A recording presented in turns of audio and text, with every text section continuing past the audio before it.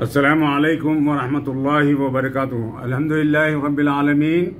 میں محمد عبدالقدیر صدیقی محتمیم مکہ مسجد، آپ تمام سے گزارش کرتا ہوں کہ جو ہے کرونا وائرس کے سلسلے میں جو گورنمنٹ کے ہدایات آئے ہیں، وہ ہمارے لیے بہتر ہے۔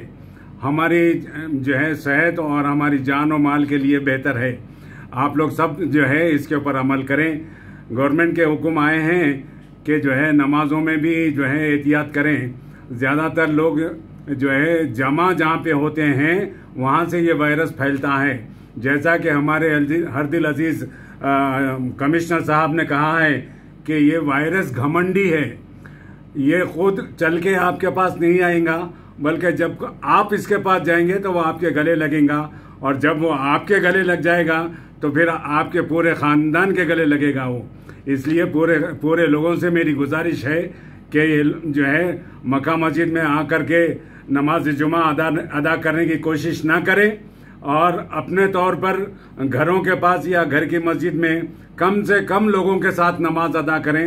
اس بات سے کہ جہاں پہ بھی مجمع جمع ہو جاتا ہے اور ایک آدھ آدمی بھی افیکٹڈ اس میں آ جاتا ہے، تو جو ہے، اس سے تمام لوگوں کو یہ بیماری پھیل جاتی ہے۔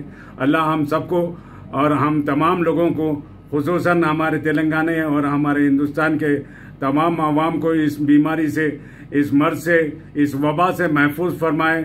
ہم ہم تمام اللہ کے رب العالمین کے جو ہے، دربار میں دعا کرتے ہیں سب مل کر کے کہ اللہ ہمارے کو اس سے محفوظ فرما۔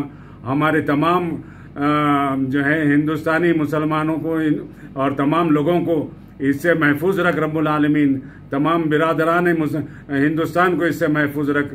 اور اسی دعا کے ساتھ میں آپ لوگوں سے گزارش کرتا ہوں کہ اپنے اپنے گھروں میں زیادہ سے زیادہ رہیے، لوگوں کے ساتھ جمع مت ہوئیے۔ اللہ آپ کو اور ہم کو سب کو ہماری حفاظت فرما۔ السلام علیکم۔